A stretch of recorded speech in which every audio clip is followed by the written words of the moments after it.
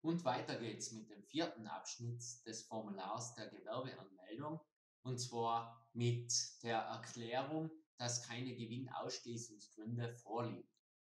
Im Rahmen der Gewerbeanmeldung müssen Sie einige Voraussetzungen erfüllen, um dann in weiterer Folge eben auch die Gewerbeberechtigung zu erlangen.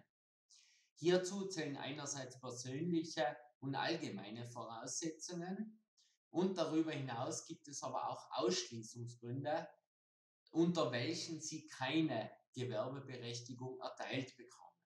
Und hierzu zählen vor allem finanzbehördliche Strafen oder eben auch Insolvenzverfahren. Und wenn Sie ein Insolvenzverfahren laufen haben, beziehungsweise bestimmte oder strafgerichtliche Verurteilungen haben, welche eine bestimmte Strafhöhe überschreiten, welche das genau sind, finden Sie in dieser Gewerbeordnung. Dann führt es dazu, dass Sie eben keine Gewerbeberechtigung erhalten.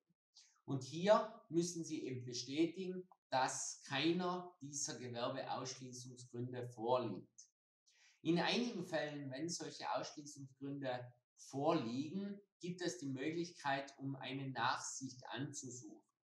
Und wenn Sie solch eine Nachsicht erhalten haben, dann müssen Sie hier eingeben, ähm, von welcher Behörde diese Nachsicht ausgestellt wurde und die Zahl des Bescheides müssen Sie eben hier auch angeben und hier eben dieses Kreuzchen setzen.